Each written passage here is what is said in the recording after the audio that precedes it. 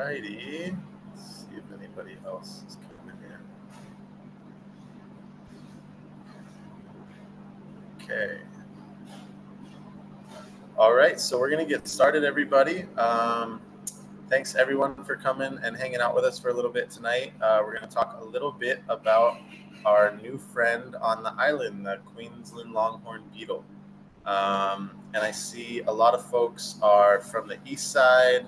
Uh, we've got some visitors from off island, kind of nice little smattering in the chat. So, um, yeah, thank everybody for coming and, and being willing to kind of listen and learn together as we try to make this a little bit more um, of an issue of awareness between local farmers so that we can get on top of prevention and treatment and you know save as much of our food crops as we can amidst all the other fun pests that we have here. Um, so I'm just going to do a quick round of introductions. Um, we've got myself on the call. Uh, my name is Kyle Jackson. I'm the farmer member coordinator for the Ulu Cooperative. And um, I've been lucky enough to get a couple of our farmers, um, Anthony Oleon, who's got a farm in Kea'au, and uh, Debbie Ward, who's got a, a, farm up in Curtistown. And also joining us is Roxana Myers from the USDA PBARC, and she does a lot of really awesome work um, with nematodes and trying to help farmers, you know, improve everything from soil conditions to fight different diseases, um, you know, using our biological controls instead of, um, you know, chemical means or other treatments. So we're really excited to have her on the call and sharing, um, you know, kind of the most recent updates that we have with this and also some experiences from our farmers who have been affected um, by this pest. And so for now, I'm going to pass it off to our first farmer, Anthony, and he'll do a little introduction and kind of tell you guys a bit about his experience um, with the beetle on his property.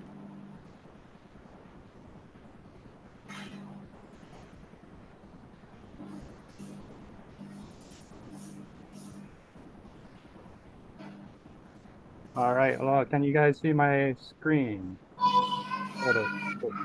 Hi, my name is Anthony Olayon. I'm out in Kea'au, Puna, the Kohaku side of Orchid Land. And we've been here on my family's land for about 40 plus years. Um, so I guess we first started noting, noticing the QLB around plus or minus a couple years in 2015. And they were first spotted or noticed, I guess, from our kukui. So we had kukui that were probably 20 something years old and they just started dropping branches. And then we started noticing the, the south, the sawdust coming out of the, the bark and the textbook exit wounds from the QLB. Um, shortly after that, I think the next tree that it attacked was a Buddha's hand, a citrus. And we lost that tree. Um, and then around 2020, we reported on the USDA website for, um, I guess they were trying to gather all the sightings throughout the island. And we had a technician come out and they came out and confirmed that we did indeed have a pretty big infestation.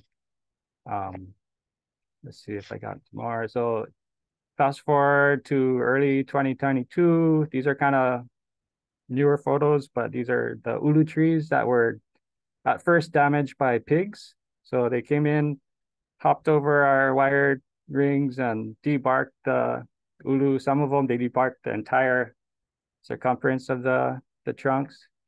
Um, and then that's when we noticed the QLB like really targeting the ulu. So you can see some of the exit wounds here. Um, I think you can kind of see a little bit of sawdust here. Um, and then uh, some of the branches, this is like a month or two ago on a tree that I pruned. Um, after we had that big rain, some of the branches just started breaking and um, started looking into those. And these are some of the critters that I found. Um, I think this is an ambrosia beetle. So we've been finding those a lot. And then, of course, the grub. And then one of the, I guess, uh, pupa, right, pupa ready to uh, emerge from the, the trunk of the tree. Um, let's see, what else do I have here? Yeah, so we lost about three ulu trees in total. We had to cut one down because it just wasn't gonna um, come back. But luckily the roots were still intact. So this is one photo. We cut that one down in about about a year ago. And this is a year's worth of growth. So at least it's still growing. Um, so this is another tree. Uh, this is like a before and after pruning. So I pruned this tree and I noticed all of the lateral branches here after I did the pruning were getting heavily targeted by the QLB. And that's that photo I showed before where the branches were just kind of breaking off. So I'm kind of debating if I have to get rid of this tree eventually just because the infestation is so high. Um, other than that, I think that's all I have to share it's been a challenge. Awesome. Thanks, Anthony. Um, and we'll probably come back and, and have some questions for you guys on the back end. Um, Debbie, if you want to unmute yourself and grab the screen share, we'll pass it off to you. And if you could just introduce uh, your farm and kind of how long you've been there, and then go into the um, QLB stuff, that would be great.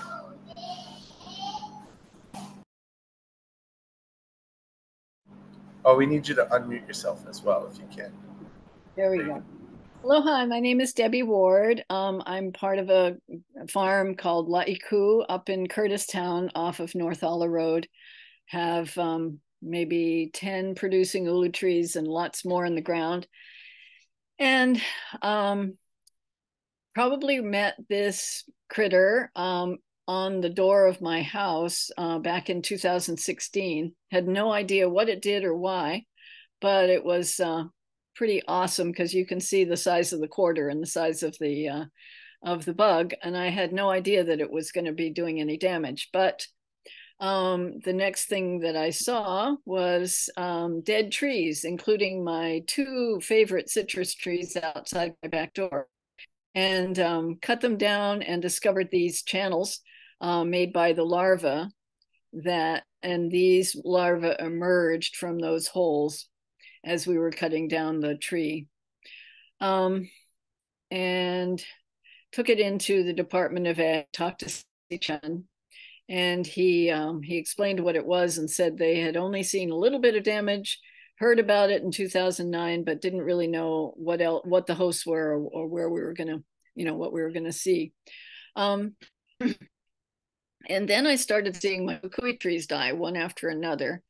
Um, this one is looks relatively healthy, um, but um, it started getting broken branches, and you can see that was with the entry hole. So what we would do is we would cut them, and then uh, take in the affected branches to uh, USDA and eventually to Stacy as well. And both of them were working on insectaries um, USDA put out trap uh, traps for about a year, and we monitored the monitored the traps every other day, um, and turned over the beetles that we found in the traps. We didn't think the traps were particularly successful, but we did probably find ten beetles during that time. Um, and my son would go out at night and he would climb up into the trees and he would find them. He would they would scream. They actually make a loud noise um, that's a little like a shriek and they bite. So he would actually use gloves to catch them and we turned a lot of um, the ones that he caught in. So apparently they are easy to find at night. I've never seen one on a tree but he's good at it. Um, and then we started seeing more damage on our citrus, particularly the tangerines and the tangelos seem to be the most affected. So you can see here, there's frass coming out. Uh, a lot of frass can be found on the ground as well. You can see a lot of um, of older damage here. This was probably a year old already, but there is still, you know, in new intrusions of, of larvae coming out. And um, sometimes you don't see this action because it's covered with moss. I don't know about everybody else, but my my trees are mossing up far differently than they used to, and um, so I kind of when I rub the moss off, I usually find um, some damage. So this is what the early damage looks like. This is when I think when the larvae is just eating the bark itself. Um, and if you're lucky enough to get Roxanne or BIISC or um, some nematodes at this point, probably be able to stop it. Um, but this is what it looks like after it's quite a lot of damage. The tree's trying to recover by producing more callus tissue and closing up the hole, but it's probably been invaded already. So this is what my poor tangerine, uh, tangelo tree looks like. You can see um, a lot of damage down in here, and this tree will probably not recover, although it still produces a lot of fruit. Um, I don't think it's going to live in the long term um, because all of the damage is down here. If one of the branches is affected, I just cut the branch off, take it into USDA, and the tree seems to do fine. But if it's down here in the trunk, I don't have a lot of hope for it.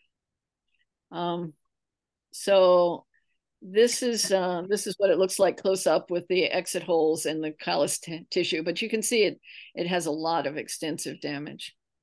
Um, so then I discovered it on elderberry, and um, elderberry is is an amazing host for them. Every single branch that you cut from an elder, elderberry tree will have have uh, larvae in it, and so it comes out at the axils. It comes out all over the place, and you see a lot of um, of goo, um, of whatever it is, exudate. Um, and you see that in the kukuis as well. The kukuis will just drip with goo all over the place when they are affected.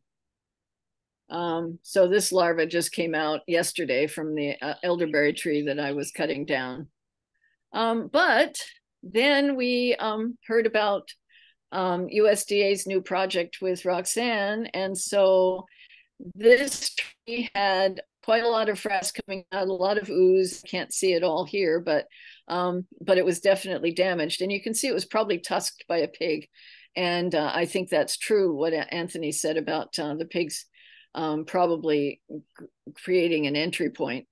But then Roxanne came and sprayed the tree and um, sprayed the put injected nematodes into the visible holes and um, oh, that's a different, this is this, so this is Kukui tree one. This is another one where I didn't take a picture when the tree was almost completely gone, but the, the entry hole was right in this area.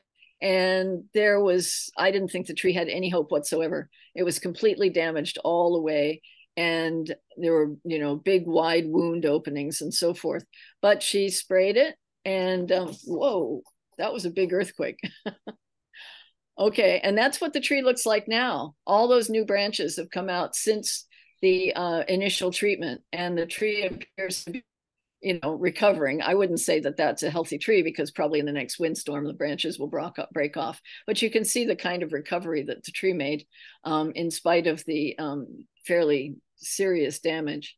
So my my my lesson to you, if you're listening and you haven't uh, you haven't been aware of the um, nematode treatment, which I found extremely helpful and, and hopeful, um, is don't let your trees, don't this, let this happen to your trees. Um, if you can, if you can uh, attack them early with the nematode treatment, I think that you will find that you'll have better success and you won't lose a tree like this as I have. So best, best luck to everyone. Thank you. Stop share. That was great. Those pictures were awesome. I mean, not awesome. They were terrible, but great. Terrifying, yeah. great, and helpful. Um, really, really good to, you know, kind of go through that with you and then see the effects of the treatment that Roxana did. That's really cool. a cuttlefish. All right. I'm going to pass it off one more time to Roxana, and she can kind of introduce herself and what she does with USDA before going into her presentation.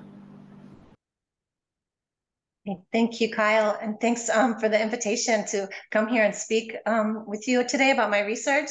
And thanks so much to Tony and Debbie for sharing their experiences. And it's a great introduction um, for this short presentation I'm going to give to you. So I'm going to share my screen. Um,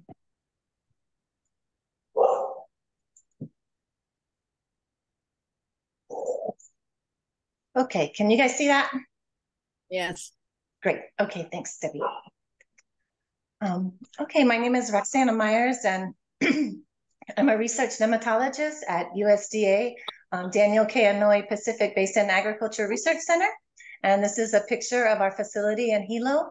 And our mission at PBARC is to help growers mitigate uh, pests and diseases, as well as um, post-harvest treatments, uh, anything that can improve the profitability of uh, the growers in our state. Um, I actually, I work mostly with plant parasitic nematodes, um, which are very damaging uh, nematodes that affect the plant roots and prevent um, the plant from uptaking uh, nutrients and water. Uh, however, um, I got on this side project uh, here and um, we're using uh, entomopathogenic nematodes, also known as insect parasitic nematodes. And so these would be the good guys. Uh, so I'm happy to share my project today about how we're using these to try to mitigate some of the damage that the Queensland longhorn beetle is causing. And my team members are Kathy Mello and Kirsten Snook.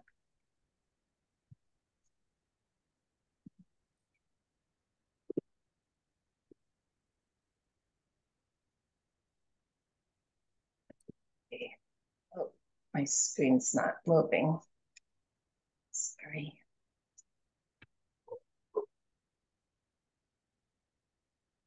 Let me stop share and try that again.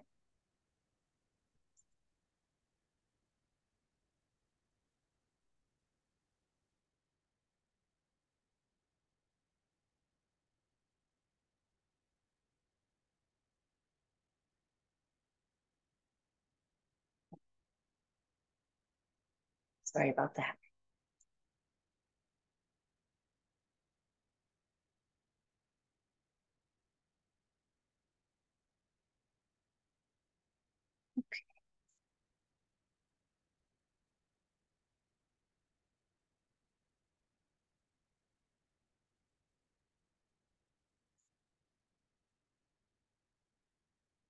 All right, is that on full screen?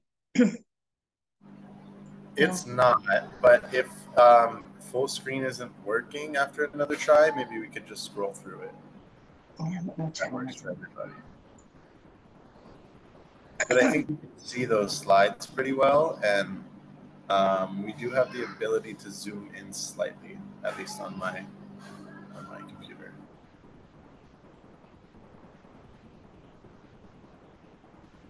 Man, our practice went so well. I know we went over all the technical things before everybody. I promise. Yes, A couple times. Roxana, if you go to the slide and you don't um, go to present view, but just like that, um, we can see really well if you want to just scroll from one slide to the ne- next in that view. Okay. See if I can make this a little better. Hmm, that's terrible. Okay. How's that? Back in business. Okay, sorry. No. All right. Light So sensitive as well? Excuse me? Hmm. Okay. How about you like, on with the show then. um, so today I'm going to be talking about insect parasitic nematodes. Um, they're microscopic, non-segmented roundworms that attack insect pests. Uh, they have a broad host range. Um, they're very easy to apply, and they're safe for humans, animals, and plants. Um, the good thing is they're not um, regulated by uh, the federal, um, by the FDA. Um, so they don't require any re-entry period after application. So this is a picture of my nematodes in culture, and this is them emerging uh, from an insect cadaver um, and in one of our insect rearing colonies. So how do these nematodes control insect pests? Well, the infective juveniles enter into an insect host, and they have a symbiotic bacteria which is released uh, into the insect, and that's actually what does, it kills the nematode um, through sepsis. And once the insect dies, the nematodes begin to feed off of the cadaver, they begin development, and then they reproduce within the host. Uh, after um, they're done reproducing, um, the infective juveniles emerge, and then they search out for a new host, and then the cycle continues.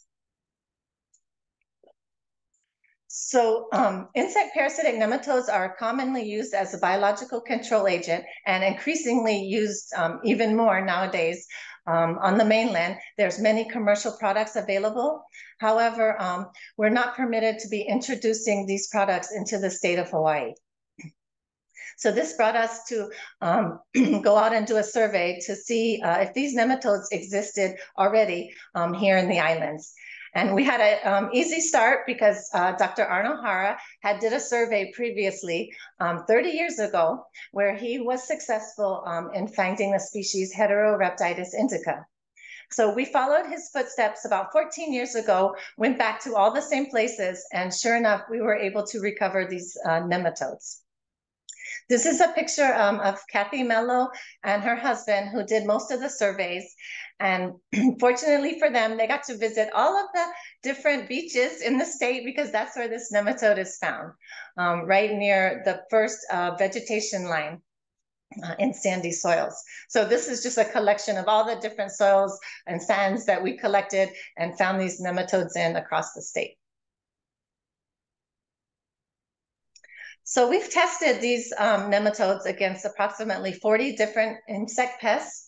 Um, most of the most successful ones are when the insect has a stage uh, that's inside of the soil because these nematodes are from the soil. Uh, that's where they want to be and they do the best there. However, we had really good success um, using them against the sweet potato weevil. And we found out they would actually go inside of the tuber, um, even if they weren't completely submerged in the soil. And they would hunt down the sweet potato weevil larvae um, inside these tuberous roots. So in a, we just did a simulated field study and found that they reduced the population by 77%. So now we've moved on and we're doing some field trials to see um, if this can be an effective use of these nematodes for growers. So uh, thinking about this um, made us realize maybe these nematodes can go inside cryptic habitats where they're protected um, and it doesn't necessarily have to be uh, within a soil environment. So along come the Queensland longhorn beetle. And if these nematodes could chase down sweet potato weevil larvae, um, why not chase down this, um, the longhorn beetle larvae inside of the trunk and branches of these trees? So I don't want to go into much introduction. The uh, growers did an excellent um, presentation on that. I just want to say that what's interesting is that this beetle um, back in its homeland of Australia is not known to infest uh, agricultural crops at all. Um, so since it's not a problem over there, there's very little known about this insect pest, about its biology and its habits. Um, and also no control measures have been documented. So we were hoping that the nematodes would have this uh, potential to hunt these larvae um, in, in this inside of the tree. So this is some of the damage that we're seeing uh, to different orchard crops. Um, there's the citrus, kukui, and cacao.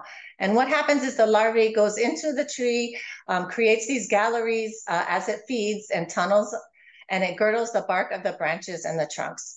So soon you get um, a disruption of the uptake of water and nutrients, and it also loses its structural integrity. So branches start falling off, and eventually um, you can see death of the tree itself. So we did a lot of experiments in the lab and we found out, yes, it is a host. Um, the, the beetle is a host for the nematodes and that was great. So we started doing some greenhouse trials and this is uh, one of the trials that we did. I'll just share with you now. Um, we wanted to test uh, Beauveria bassiana uh, as well as the nematode Heterorhabditis indica. And then we did a combination of the two, hoping that the nematodes would transport the Beauveria spores inside of the galleries themselves. So this picture of the darkened larvae, that's an infected larvae with the nematodes inside, and it fluoresces because of the bacteria, the symbiotic bacteria. So it's very easy to tell um, if you open up the trunk um, and split these logs, you know, if we had success or not.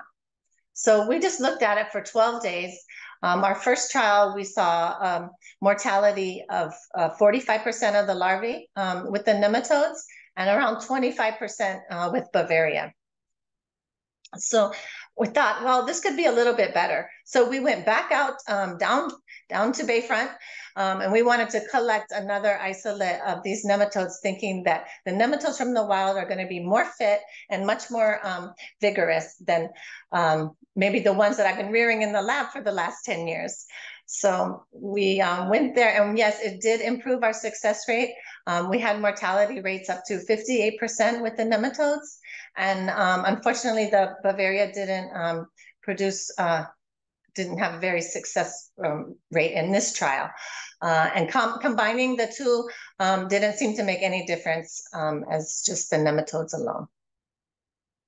So we know that it, QLB is a good host for this nematode. Uh, these nematodes are hunters, so they do hunt the larvae in the galleries and cause mortality. It can affect larvae, pupae, and adults. Um, and we feel that it was more effective than the Beauveria treatment alone. So then we wanted to go out and try this in the field. Um, and it was so nice of Debbie to invite us to come out and give this a try. Uh, we went out, um, we just applied to her heavily infested trees. Uh, this was maybe around last December. And then with the holidays and things got busy, we never got a chance to go back out there until four months later. And we were very surprised and happy to see that it did look like um, we had some, we might have you know, had some effects uh, with the nematode treatment. So as you can see in the photos, at first when we treated, there was a lot of frass, um, there was a lot of sap coming out of the, the trunk. Uh, when we went back, the tree was no longer producing this defensive sap. Um, we didn't see any new frass or new shavings uh, where the larvae had kicked it out. And we even saw some new growth. So we felt very encouraged and that got us very inspired to keep um, working in the field and, um, you know, seeing if we could have continued success with this. So we wondered though, why did we get a better result, it seemed like, than we did in the greenhouse? Well, the greenhouse trial was only 12 days. This was four months later before we even went back and look at the results. So when we actually take a QLB larvae and put it on a white trap um, and get the nematodes out and then count them, one larvae can produce over 200,000 nematodes even the prepupa was over 400,000 nematodes. So when you have um, one infestation from your initial inoculation, uh, it's going to keep producing subsequent generations of nematodes uh, tenfold. So um, these nematodes are going to be hungry and they're going to, you know, wake up, hunt go down the galleries and find any remaining larvae or um, new larvae that have just hatched and infect those nematodes. So I think this is the result of accumulation over time um, of multiple nematode generations um, existing within the tree and branches. And so this is what it looks like when the nematodes are just packed uh, inside of these larvae and then they're starting, you know, to come out. So I'm going to tell you um, quickly uh, how you can go about applying these nematodes yourself. I wish we could go out to every farm um, and treat for everyone, um, but as you'll see from this presentation, this is a very tedious task and it takes a very long time. So hopefully um, I can train you guys to do your own and we can get you some nematodes and then you can go out to your farm um, and apply these. And the best thing, like Debbie said, try to hit it early at the beginning before your infestation becomes too heavy. Uh, so the step, first step, step one would be scout your orchard uh, for QLB damage. So what we look for is that sawdust-like frass, um, oozing sap from the tree, girdling of the trunk and lifting of the bark, and also adult emergence holes. So this is a video um, that we took. Uh, this is Kathy showing all the different symptoms and signs that there's QLB inside of this tree. Uh, so that's the first thing. You got to get down there. Even if it's on your hands and knees, you got to get under the canopy and you got to really visually inspect each tree, each branch, each limb, or you're going to just miss it. When you're looking at your orchard as a whole, it looks great, but when you got to really look up close. So our suggestion is to go out and just multiple people just hit every tree and every time you find a sign of damage, just tag it.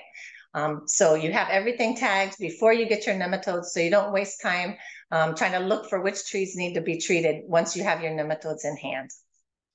So this is um, the very uh, easy to spot symptoms um, along the branch um, of the frass.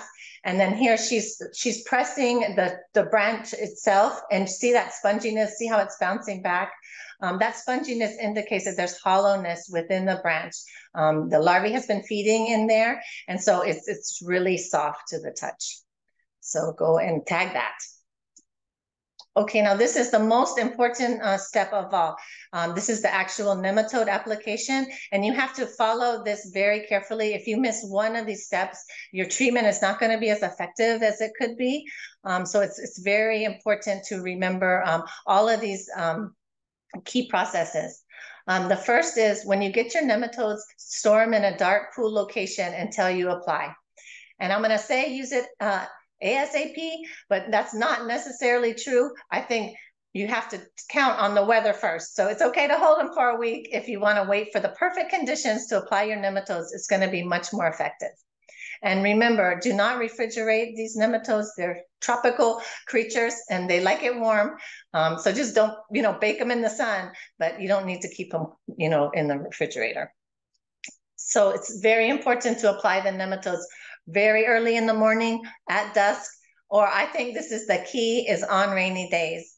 So we've been doing a cacao treatment. I've treated for three times and I have not had the success um, that I had at Debbie's field. And we've have seen some results on some trees, but not all.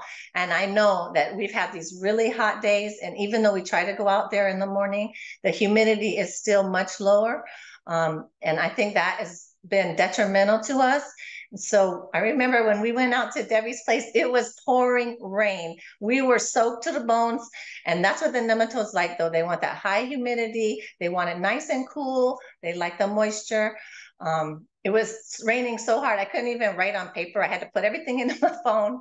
But you know what? That is the key. So this last time we treated at the nematode field, I waited for this Kona low and I said, we're going out there to get soaked again. Because if you get soaked, your nematodes are going to be so happy and your treatment is going to be way more effective. So that's my main recommendation right there. Don't forget that. um, and okay, almost as importantly is you must agitate your nematode solution before transferring it or um, drawing it up uh, with your syringe. The nematodes will settle to the bottom very, very quickly. So if you want to have a uniform inoculum, every single time you go to move them or um, you know, dispense of the, the nematodes, you need to um, stir it or shake it and make sure they're all up so you have a uniform solution. We've been using um, a disposable plastic syringe, uh, thanks to Kathy, who came up with this wonderful methodology. Um, you can get these syringes and needles at any feed supply store. So we're using a 16 gauge, one and a half inch needle um, on the syringe. And that's how we actually inject the nematodes into the tree itself. Um, and don't forget to stir the solution uh, before drawing it up. So you want to apply the nematodes directly into the trees. You inject them into the feeding galleries through holes um, where you see the um, sawdust like frass, the oozing sap, or under the lifting bark. So what we'll do is we'll just press, you just press with the needle and until you find a place where it just sinks right in, then you know you've hit the spot, you're inside the gallery, and you slowly dispense the solution. And you need to watch the underside of the branch if the if the nematode solution's coming out, because it's going to follow that gallery wherever it is, and it's going to start you know spilling out somewhere. Once it starts going out, you stop, you go poke around, you find another one, you go up and down the tree, you hit every single spot you can because you want to give your nematodes the best chance possible at finding these larvae. So you don't want to just put it all into one place. You want to try to put as high as you can, definitely, um, and as many spots as you can because you can only really put a little bit in in one gallery at a time. So you want to try to find multiple uh, locations to insert your nematodes. So here's Kathy injecting it um, into uh, one of these uh, galleries. And then you can see how the needle just sunk right down in there. Um, see, once it gets in there, you know you've hit the sweet spot. But when you start seeing it coming back out, the liquid, it's time to stop because you're just going to waste um, your inoculum. Uh, so she'll be down on her hands and knees to get to the bottom of these trunks and whatever it takes to do it. So you have to be dedicated to really take the time and energy um, to make this work successfully. As it is um, a tedious process, but it's getting the nematodes in there where you need to get them. Um, you have to, there's just, you know, uh, it's a biological agent. You have to give them every chance possible. Um, so, you know, you have to just uh, try to get them uniformly throughout. Um, one thing that she observed the last time we were out there was even if you don't see these uh, signs of the uh, infestation, but you see um, black lesions on the trunk on the trunk or the branches itself, those black lesions are caused from the larvae feeding underneath of the bark. So you can actually stick that needle right into those black lesions and it'll go right through. And you know, because you can't get it into the bark, but once you hit that black spot, that's another place you can insert the nematodes. So we're um, trying to raise as many nematodes as we can. Uh, we just went into an agreement with um, the Big Island Invasive Species Council, and they're kind enough to raise the nematodes also for the farmers in our community. And you can reach out to them um, by contacting Jade Miyashiro uh, by email at jade uh, mia at hawaii.edu. And these nematodes are going to be provided at no charge to the community, um, thanks to BIISC. And we just ask that you request um, that you make observations. And if you could just please report back to us where your location is, what crops that you're putting it on, and what kind of results that you saw. Um, and just keep in mind, uh, go back and look at those uh, one, two, threes on how to do it to make sure uh, you do it properly. But please uh, feel free to reach out to me as well um, at any time, and we can help get you some of these nematodes and you can treat. But the earlier, the better um, for sure. So I'd like to thank Tracy Matsumoto and her family um, for helping me to do some of the filming. Uh, Charmaine Silva is always helping us out in the field. And especially I'd like to thank Stacy Chun, uh, who works for the Hawaii Department of Agriculture, who has been a great cooperator for us um, in this project. So if you have any questions, uh, there's my email. Uh, please feel free to reach out to me um, anytime. And so this photo here is just um, the nematodes emerging uh, from the insect cadaver. And you can see they're just very active and hungry and uh, ready to go out and search for your QLB larvae.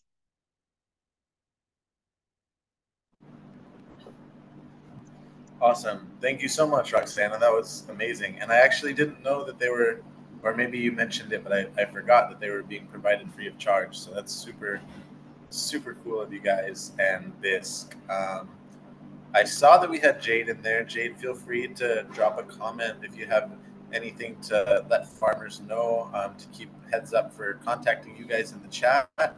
Um, and I think that you know that kind of takes us probably right to the Q and A portion because it sounds like you kind of wrapped up the, you know, preventing and what to expect. Um, so it sounds like noticing it as soon as possible if you're in a potential affected area, which sounds like is Lower Puna all the way through Panaewa. And we've heard folks um, say recently that they found them as far as Wainaku and Keaukaha. So, you know, if you if you guys are in that area, if you've got friends in that area, it sounds like checking your orchards is a first step.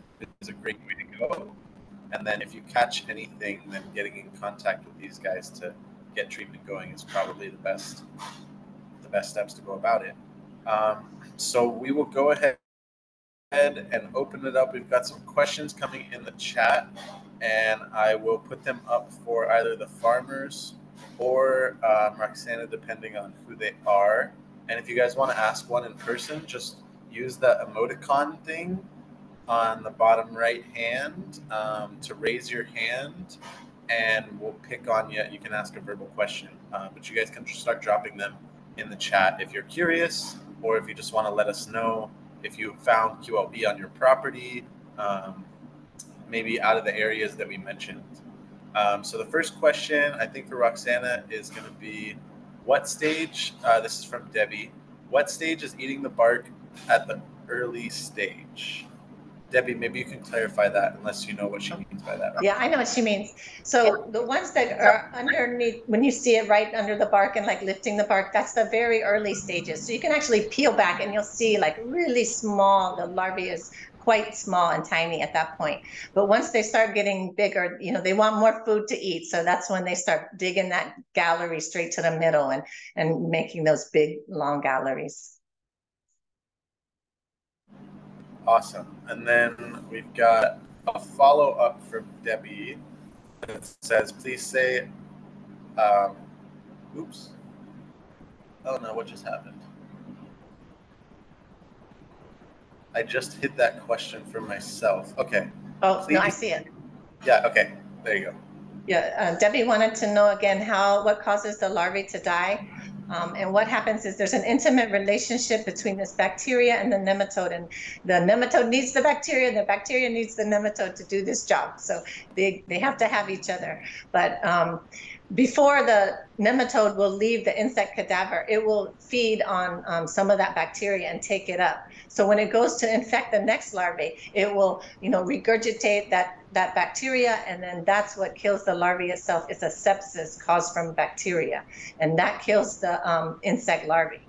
And then the nematode will feed a, on the a cadaver, and then also on the bacteria again, and then that's how the cycle. So the nematode doesn't actually um, kill the larvae, but it does, you know, provide the bacteria with a way to get inside of the insect.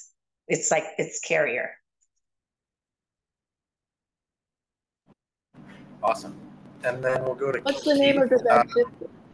Uh, oh, sorry. Go ahead, Debbie. The Was that bacteria, Debbie? Photorhabdus. Photorhabdus, thank you. And then Keith asks, can the nematodes survive in soil and how long do they remain alive? Yeah, so the nematodes are from the soil originally. They're soil inhabiting organisms. So um, yes, you know, they can survive uh, in soil and they can survive as long as they can find a host. Um, as far as the nematodes remaining alive, like in general, if you don't have them with the host and you're just like holding them in your container, um, they can survive decently um, for a month. Um, you know, we've had some cultures that survive up to three months, but you get more and more mortality, you know, every day. And then they're not going to be as fit. So that's why I'm saying when I first get them off of those insect cadavers, they're very active, they're very fit.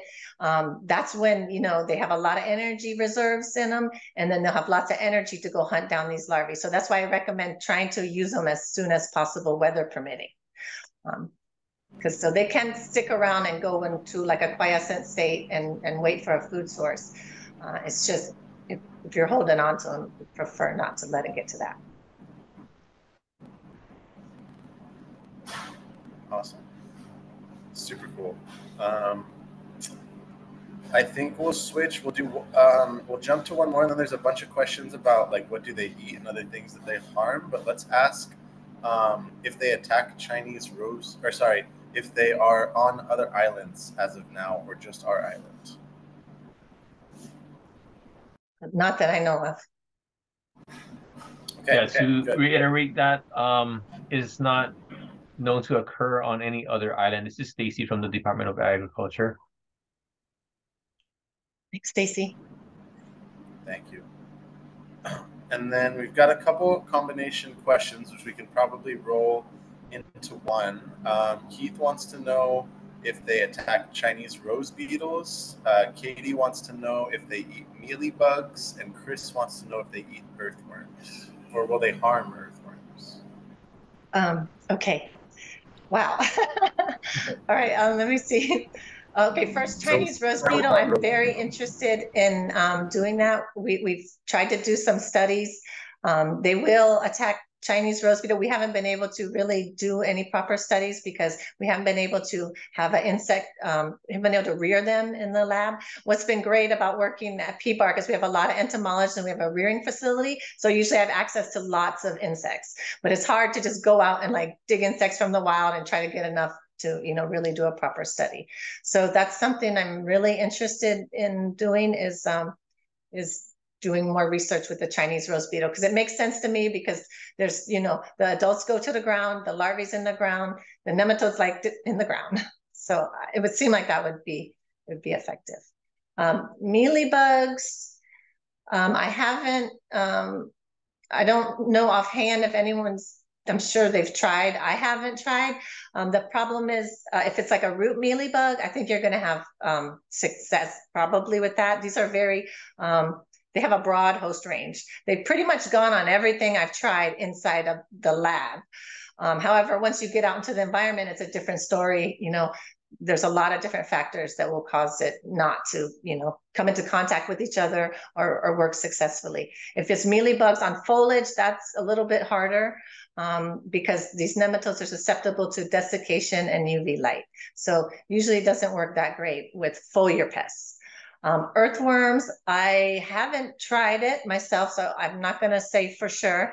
Um, but I believe since they're not insects, um, that's not they're not going to be harmed. These are very specific. So nematodes are very specific. Ones that go to plants just go to plants. Ones that go to humans just go to humans. You know, animals, certain ones just like that. Insects. So they're very, very specific as far as um, you know what uh, type of organism that they can parasitize. Bees, um, I I don't think they were going to harm bees because of the many situations they're not going to come into contact with like the bees itself. Also bees have a social behavior where they won't let any other bees into the hive that have any nematodes on them. So these this actually this species has been used um, successfully on the mainland to um, kill um, the hive beetle. So you can apply it underneath your beehive um, to kill the um, beetle lar- the hive beetle larvae so um, it's it's it's all about the situation where the nematodes and the insects come together. You know, are they coming into contact in the proper environment for them to be a successful host?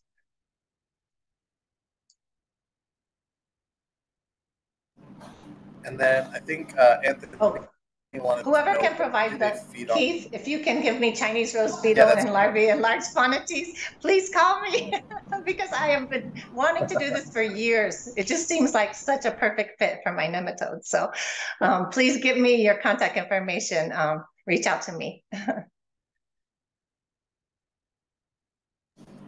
and we've got another question from Jake in there on the application rates. Okay, application rate. This is so tricky because it's totally dependent on the tree because you can only fit so much liquid inside of those galleries. So if it's a very small tree with very little damage, you know, we've done as little as like two mils. Um, if it's like a large giant tree with tons of damage, we've done like 25 mils. Um, so it ranges on to what you can do, how much you know liquid you can get in there. So you know we're talking anywhere from six thousand nematodes to two hundred thousand nematodes. Um, so it's the size of the tree, the size of the galleries. Um, it's just what that's why the more places you can find to inject that needle, the more nematodes you can get in there, the more successful you're going to be. Uh, Roxana, do you see the potential for applying the nematodes via spraying? Yeah, so we started with spraying, um, but then it just was like it's just running down the tree. Like this is this isn't um, this isn't that effective. You know, like you really have to get it into the gallery because once the nematode, if it's outside, it's just going to go down to the ground. That's its natural behavior is to want to go back to the soil, I think. But once it's inside the tree, you know, it's it's it's protected. It's like in this cryptic habitat, and it's you know, its its food source is in there. But I think when you spray on the outside, we've even tried to spray with like a gel overlay to protect it. You're really exposing it to like UV light and desiccation. So just the survival of them isn't going to be that great. And then the ability for them to make it, you know, into the gallery themselves instead of just going down to the ground, you know, it's it's going to be um, very small. So you're, you're just going to get only a very small number of nematodes actually in there doing their job, you know. Um, that's that's why it's so much easier to spray because I tell you this is a tedious technique, um, but it's what it takes to make it work.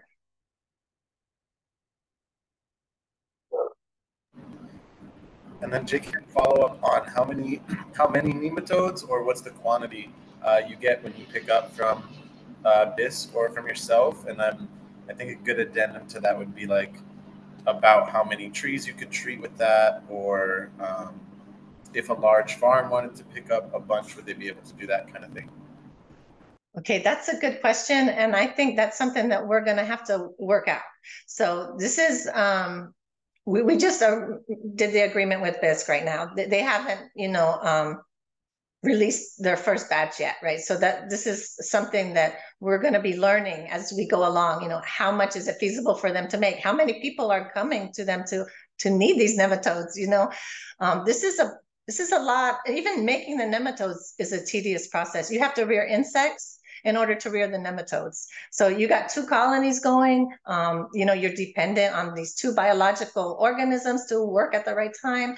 So um, this is all a process that we're going to be working through. So usually when people come to me and they want nematodes, it just happens. What cycle are we in with our nematodes, right? So, you know, we just inoculated some for the next time. So I have these extras. We didn't use them. You know, here's whatever, whatever I got, a hundred thousand. Oh, here's a million. You know, it's just what I have. So this is not a commercial production operation yet, right? We we got to work this out. Um, and so that's the thing. How many trees you can do is like I said. How many, how much can you inject into one tree? You know, so that those are very tough questions that we don't have answers to right now and we will learn that's why i want your feedback i want you guys to you know hey i picked up you know, half a million nematodes from BIISC, and I applied them to 10 trees or 20. I want to know that, you know, we need to understand that. So I, I need all you guys' help to work with us so we can, um, you know, find the answers to these questions.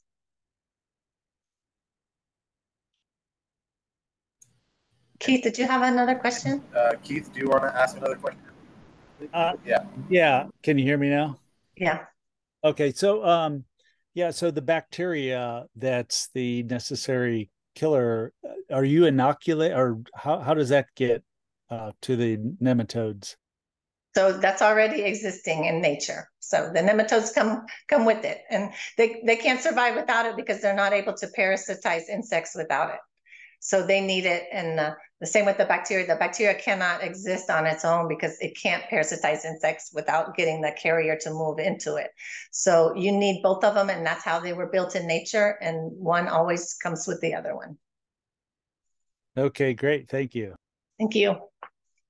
And yes, I will um, get you uh, my contact info, and we will start collecting adults and because we do sift uh, larvae. I think I think our larvae that we're finding are uh, Chinese rose beetle larvae because we have uh, Chinese rose beetles in mass numbers around here that just devastate stuff. They're our number one pest here. Oh well, that's that's terrible, and I, I, think this is a good system for these nematodes. I really do want to test it because um, I feel they would be effective. They're, they're, not always, I mean, they work good in the lab, but they don't always work great when you go to the field. But there's certain systems that just work, like sweet potato and um, QLB, and I think uh, Chinese rose beetle would also be one of them.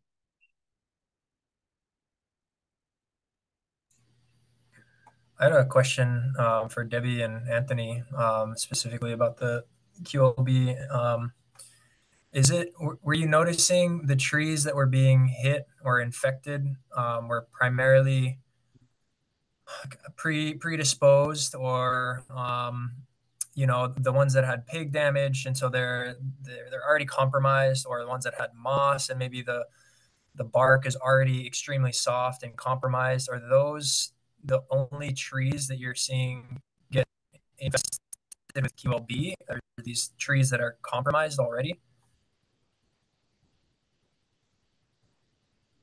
Um, um, so I noticed the first time I noticed it in the ulu was on a branch that I had pruned, and it was um in that branch that had like a little stub remaining. Um, I th- I think it's from my experience. I think it's from the the trees that are uh injured or maybe they're sending off like a pheromone that attracts the the QLB and then the pig damage, of course. Um, for me, a lot of the early damage I saw was in upper branches of taller trees. So they the pig damage uh, wasn't evident because they were above my head. Um, and I didn't know what the frass was. I just thought it was rather odd. And I'd see these piles of frass on the ground. So I don't think in my case that they were pig damaged. Mo- many of them were not pig damaged. Some of them are. Um, I don't think that the early trees that died were pig damaged, but um, it's all possible. Uh, the pigs like like to rub their tusks tusks on the on the trees for sure. but I haven't had anything on either cacao or ulu yet. Um, but Trema, the uh, Trema orientalis, the the gunpowder tree, that that tree also gets it. And then of course the elderberry is just has thousands. and we we had another field visit to Anthony's maybe about a year ago with a different um, USDA entomologist who mentioned that there may be some type of um, relationship of progression between like ambrosia beetles in the trunks um, and them coming in first and and the QLB moving in after. Is there any correlation to that or?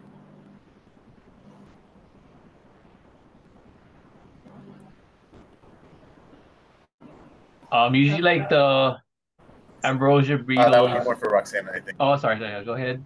No, let Stacy hit that one because I was just gonna say I've, I've, I've seen it, but I don't know. um, ambrosia beetles will naturally hit or infest dead and dying stress trees. So whichever comes first, if the tree is dying because of QLB, they're gonna they're gonna come to it because that's what they go they go for. Um, but I'm not sure if yeah the the um ambrosia beetles are come for any dying and stressed tree anyway, whether it's from QLB or just a disease or any natural cause. But I'm not sure if there's a yeah if, if the QLB is killing the tree, the ambrosia beetle will come after. regardless whether or not you know it's, it just wants a dying tree, the ambrosia beetles.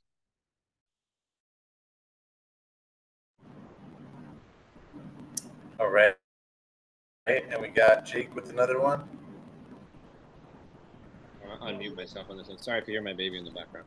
Um, but I, I just to go off of that too, I, I noticed it on our uh, kukui nut trees we have. We don't really ever prune or anything, uh, do anything to them, but I noticed more damage and more of the trees getting attacked uh, since we had uh, more drought stress between last year and this year we're almost down to none of our kukui nut trees right now because they've been getting just hit so hard because that's one tree that requires more uh, water just consistently. So I noticed they were stressed a lot more. And same with their cacao. Just wanted to throw that out there if it helps anybody. definitely noticed them more on the stress trees. Thanks, Jake. Um, and then Ryan had another question, Roxana, in there about rearing the bacteria. Oh, yeah. Okay. Ryan wants to know if the bacteria can be reared as an inoculum without the nematode for injection. And um, the bacteria uh, can be reared um, on its own. There's a problem though with uh, losing, uh, there's like a phase uh, switch. So it actually can lose um, its pathogenicity quickly when you rear it in a solution on its own. Um, however, I have a colleague who um, is working on that right now, and I think they've have made some progress. Um, however, I feel like, especially in this situation, that um, the nematode is the one that's hunting down the larvae. So it's actually the the carrier of the bacteria. So we need the nematode to, you know, chase down these larvae because it'll otherwise it'll be like just like the Beauveria treatments where yeah, Beauveria will kill the QLB larvae, but it can't go down into those galleries and find it on its own. So um, I feel like we we do need the the nematode in this particular case.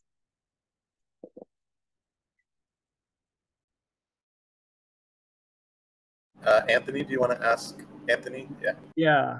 Um, so if I were to inoculate some of my trees, what's the likelihood of the nematode population establishing in my soil?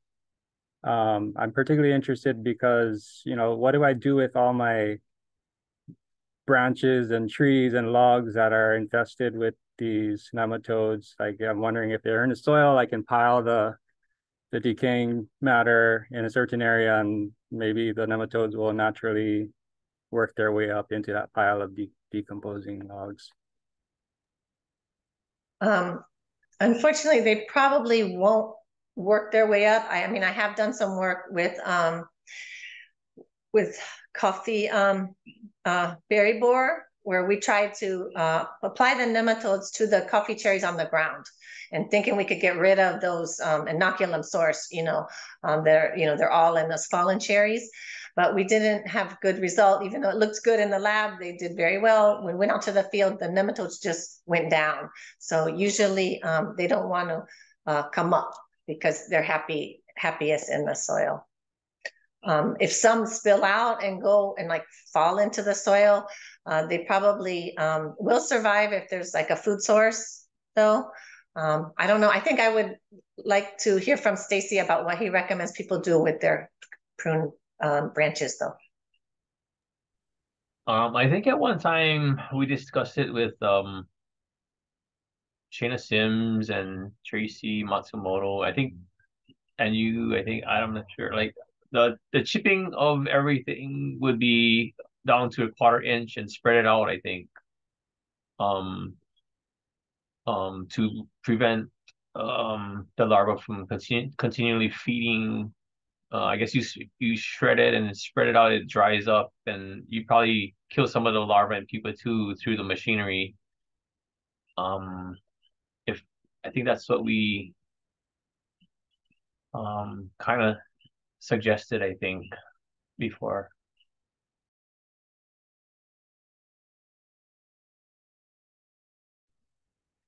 Can I ask a question? Um, I didn't know how to raise my hand. Sorry. Um, so we just were talking. Sorry, we were just talking to our colleagues in Guam about coconut rhinoceros beetle and how to, um, you know, protect our mulch or actually make traps for coconut rhinoceros beetle using, um, you know, you've got your green waste and you put a net over it and then the coconut rhinoceros beetle cannot leave the net. They get caught in it and then they die. So i guess a lot of people don't have the ability to chop their mulch in their you know their their branches and trimmings. Is it possible that some kind of netting over your green waste pile or mulch pile could work for queensland longhorn beetle also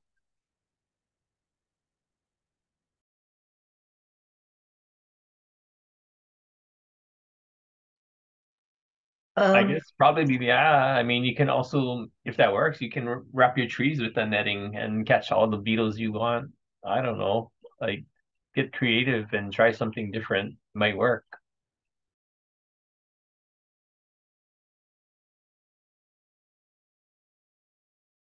Roxana? Yeah, I agree. I mean, at this point, we we need to um, get really innovative and try as many different techniques as we can. Um, we're going to be looking at some um, different, um, maybe things that we can do to avoid the, um, you know, having the adult oviposition in the first place. You know, these are the kind of trials we're going to be working on um, in the new year in spring. So if anybody has adults, they can bring them to us. We're trying to collect them and um, develop a colony so we have enough insects. Like I was saying, we need enough insects to do these trials so we can test different treatments. But that's something you know we want to look at in the future. So um, nettings, um, anything that can um, you know, discourage them from from from landing and, and laying their eggs. I mean, these are all things that we need to try, and we all have to just work together and test all of these ideas because you never know what's going to really be effective and might just help the industry so much. Roxanne, are you able to ship these nematodes inter-island? Well, um, I, I'm not sure about that. um, I have found them on all the islands though, so um, maybe we can find partners um, on the other islands that can, um, you know, we can we can recover them for them. So we we have um, they are available on all the islands naturally occurring. So if we could find mm-hmm. uh, partners on each island would be would be the best way probably to approach that. Okay. I will check awesome. with our um state of Hawaii Department of Agriculture plant quarantine branch, and I'll get back to Roxana um on that answer. Thanks, Stacy. Yeah, that would be great. Thank you. And I think we got one more question. We'll probably wrap it up after this because we are a little bit past uh, the intended time, and I just want to respect everybody's dinner commitments and uh, family commitments. So we'll finish up with Jake asking, are there any traps available to catch the QLB currently? Um, Stacy's still on. I'm just gonna give him that, give him that one because I'm, I'm, not Um, really I- sure what's going on with the traps. Well, I think like like Debbie was saying, I mean, they tried some of these traps, but the pheromone attractant was variable. It wasn't really uh catching the majority. is like like hit and miss kind of catches. Like Debbie, I think only caught like ten or something. Debbie, can you um? I can jump in a little bit here, Okay. Stacy. Um, Thanks. Thank you. uh, there, there was, yeah, there was someone who was studying that at PBARC. You guys are so awesome, and um, the the it kind of fell off, but uh, they did finally hit upon a pheromone that they thought might work. Um, but unfortunately, the funding had dropped right at the point where they found it. So the Forest Service is now proposing to take that on, and they have written a grant um, to hopefully start doing research trials. We don't know if they've received that money yet. That will that would be um, Kyle Roy, who's done a lot of work on rapid ohia death. So um, we should find out in the next couple of months if they're going to be able to start those trials, and then we we would be um, trying to help them reach out to folks to be able to um, do some of that work on their properties. But um, there is some pursuit of that. Currently, there isn't anything available, um, but there there are folks trying to go in that direction with the pheromone traps.